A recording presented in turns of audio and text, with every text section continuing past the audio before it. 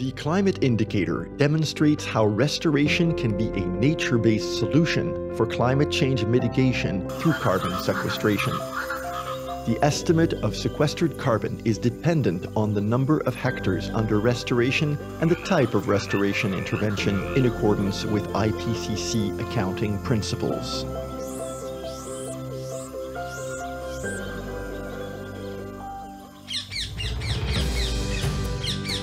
It is obtained by multiplying the hectares reported in Indicator 5 for the best removal factor, which indicates the tons of carbon dioxide sequestered per hectare as per year by a given restoration activity.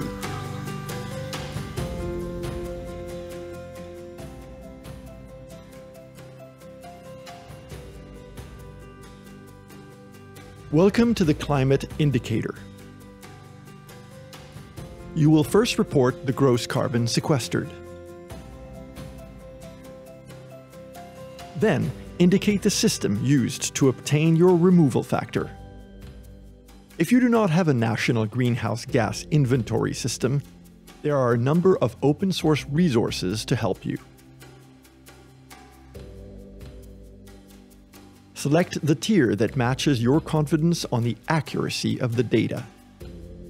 This is based on the accuracy of the reported area reported in Indicator 5 and the specificity of removal factors. Finally, indicate whether this estimate will contribute to national greenhouse gas inventories and or reporting under UNFCCC commitments.